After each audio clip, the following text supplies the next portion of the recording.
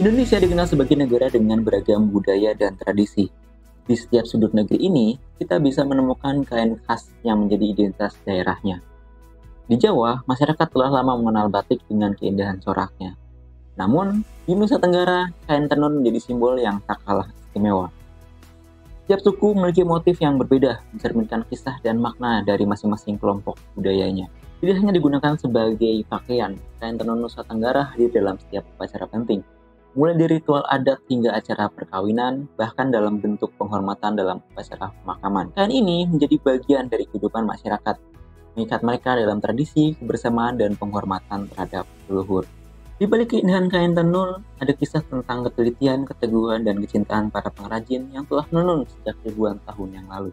Namun, seiring waktu, kain tenun Nusa Tenggara juga menghadapi berbagai kesulitan. Produk-produk kain modern dan industri tekstil massal sering menjadi persaingan yang sangat berat di pasar.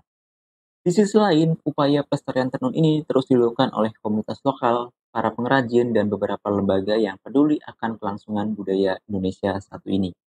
Pertanyaannya, mampukah kain tenun Nusa Tenggara terus bertahan di tengah modernisasi? Dan apa saja sebenarnya daya tarik yang membuat kain ini terus begitu spesial? Kain tenun Nusa Tenggara memiliki latar sejarah yang panjang, diperkirakan sudah ada sejak 3.500 tahun yang lalu. Sejak abad ketiga Masehi, kain ini telah melintasi masa dan budaya yang berkembang di wilayah ini. Sejak dahulu, kain tenun telah menjadi bagian penting dari kehidupan masyarakat Nusa Tenggara, khususnya di pulau-pulau seperti Sumba, Flores, dan juga Lombok. Kehadiran kain ini erat kaitannya dengan tradisi leluhur yang diwariskan turun-temurun di mana setiap benang dan motif yang ditenun memiliki makna tersendiri. Sejarah pembuatan kain tenun Nusa Tenggara tidak terlepas dari pengaruh budaya Austronesia yang datang ribuan tahun yang lalu. Para pendatang ini membuat tradisi menenun dengan menggunakan alat-alat sederhana serta teknik pewarnaan alami dari tumbuh-tumbuhan yang tumbuh di sekitar. Teknik ini kemudian diserap oleh masyarakat lokal dan diadaptasi sesuai dengan kepercayaan dan lingkungan setempat. Menciptakan ciri khas yang berbeda di setiap daerahnya. Dalam masyarakat Nusa Tenggara, menenun bukan sekedar tampilan, tapi juga merupakan simbol status dan juga budaya. Meski teknik menenun mengalami perkembangan, banyak pengrajin tenun Nusa Tenggara tetap setia menggunakan metode tradisional.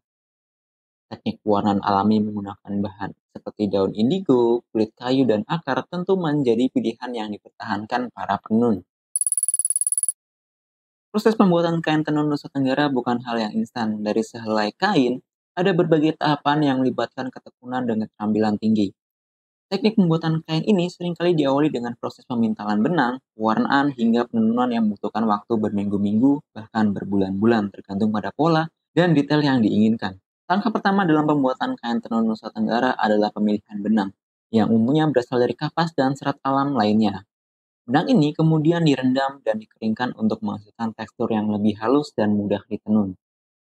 Setelah itu, Proses pewarnaan dilakukan dengan menggunakan bahan-bahan alami seperti daun indigo, kulit kayu, dan akar-akar yang bisa ditemukan di sekitar. Proses pewarnaan ini adalah salah satu bagian yang sangat penting untuk menentukan keindahan kain ini.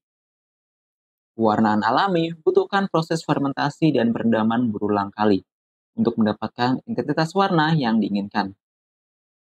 Selain itu, warna yang dihasilkan dari pewarnaan alami biasanya lebih tahan lama dan memberikan efek visual yang lebih mendalam pada kain. Tahapan selanjutnya adalah menenun, yang dilakukan menggunakan alat tenun tradisional yang disebut dengan gedogan. Alat ini dioperasikan secara manual, di mana penenun harus duduk sambil menahan alat dengan tubuh mereka. Dengan ketelitian yang tinggi, benang demi benang disusun hingga membentuk motif yang telah dirancang. Setiap pola dan motif diciptakan dengan perhitungan yang teliti, sehingga kesalahan sedikit saja dapat mempengaruhi keseluruhan desain kain. Kain tenun Nusa Tenggara memiliki fungsi yang beragam tidak terbatas pada kegunaan untuk menutupi atau sebagai busana sehari-hari. Pertama, kain tenun Nusa Tenggara digunakan sebagai pakaian adat dalam berbagai upacara penting. Di banyak daerah, seperti Sumba dan Flores, kain ini dikenakan dalam perayaan keagamaan, pernikahan, ataupun upacara adat. Dalam momen-momen tersebut, kain tenun sering dipilih karena melambangkan identitas budaya serta membawa doa-doa dan harapan bagi para pemakainya. Setiap motif dan warna dalam kain memiliki makna tersendiri, seperti keberanian, kesuburan, ataupun kemakmuran yang disesuaikan dengan jenis acara yang dihadiri. Dalam konteks pernikahan, kain tenun sering dijadikan sebagai mahar. Ini menjadi simbol penting dalam ikatan suci antara dua individu, menunjukkan komitmen dan penghargaan. Yang kedua, kain tenun juga berfungsi sebagai status sosial di masyarakat. Semakin kompleks pola dan teknik pembuatan sebuah kain, biasanya semakin tinggi pula status sosial pemiliknya. Bahkan di beberapa daerah, kain dengan warna atau motif tertentu hanya boleh dikenakan oleh orang-orang dengan kedudukan tertentu pula. Kain tenun juga bisa menjadi alat barter atau transaksi karena mengingat nilai sosial serta budaya yang melekat pada selembar kainnya. Lebih jauh, kain tenun juga memiliki fungsi ekonomi. Peningkatan minat terhadap kain ini, baik dalam negeri maupun luar negeri menjadi peluang ekonomi bagi para pengrajin setempat. Saat ini, berbagai usaha tenun di Nusa Tenggara Timur menciptakan lapangan kerja, menjaga kearifan lokal sekaligus berkontribusi pada ekonomi daerah. Seiring perkembangan zaman, kain tenun Nusa Tenggara tidak hanya bertahan sebagai produk budaya, namun juga terus berevolusi menjadi simbol mode yang relevan di panggung fashion global. Terbukti, kain ini telah tampil di beragam perhelatan busana dunia. Salah satunya seperti New York Fashion Week pada tahun 2017 dan Paris Fashion Week pada tahun 2018. Kemunculan kain tenun Nusa Tenggara dalam acara besar ini mencerminkan daya tarik dan keunikan kain tradisional Indonesia yang mampu bersaing dan diterima skala internasional. Di dalam negeri, kain tenun Nusa Tenggara juga mendapatkan perhatian dalam perhelatan Indonesia Fashion Week. Seperti yang kita telah ketahui, kain tenun Nusa Tenggara dikenal dengan beragam keunikan dan keragaman motifnya. Setiap jenis kain tidak hanya memiliki karakteristik yang berbeda, tapi juga membuat cerita dan makna tersendiri bagi masyarakat yang memproduksinya. Ada beragam jenis kain tenun yang dikenal di Nusa Tenggara, seperti kain ikat yang merupakan salah satu jenis kain yang paling dikenal di Nusa Tenggara. Kain ikat sering kali digunakan untuk pakaian sehari-hari dan juga upacara adat. Lalu ada kain endek, meskipun berasal dari Pulau Bali, tapi ini juga populer di Nusa Tenggara. Proses pembuatannya juga mirip dengan kain ikat, namun kain endek memiliki ciri khas dengan motif yang lebih geometris dan juga beragam. Berbeda dengan kain ikat, kain endek digunakan dalam busana formal termasuk busana pengantin karena tampilannya yang lebih elegan. Dan banyak lagi di setiap daerah yang memiliki keunikan jadi seperti kain tenun Lombok, kain tenun Sumba, kain tenun Flores, dan juga kain tenun Rote yang dikenal dengan motif-motif dan warna yang khas di setiap daerahnya. Kain tenun Nusa Tenggara bukan hanya sekedar kain biasa. Setiap helaian kainnya tersimpan cerita tentang perjuangan, keuletan, dan juga keindahan dari tradisi. Dalam setiap motifnya, kita bisa membaca sejarah dan nilai-nilai leluhur yang diwariskan turun-temurun oleh masyarakat Nusa Tenggara. Di era modern ini, kain tenun Nusa Tenggara semakin digemari oleh banyak kalangan. Karya-karya tenun Nusa Tenggara telah menginjakan kaki di berbagai panggung-panggung dunia.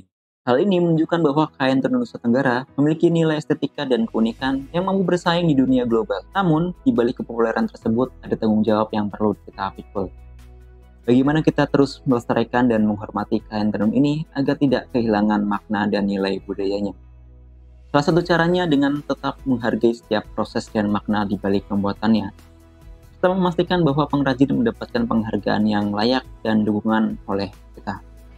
Dukungan dan kesadaran kita terhadap produk lokal seperti kain tenun Nusa Tenggara bisa menjadi wujud nyata dalam melestarikan kebudayaan Indonesia. Sebagai generasi penerus, kita memiliki tanggung jawab untuk menjaga agar warisan ini terus berlanjut. Jangan biarkan warisan ini hilang, tetapi jadikan ini sebagai kebanggaan dan juga inspirasi yang terus memancarkan nilai dan budaya Indonesia kepada dunia.